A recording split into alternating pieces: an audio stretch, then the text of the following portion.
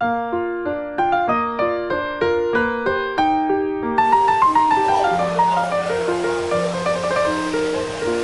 the name is uh, Chao Tachi Yeah, Choktaji, Rokalini. Chao Tachi Reclining Buddha.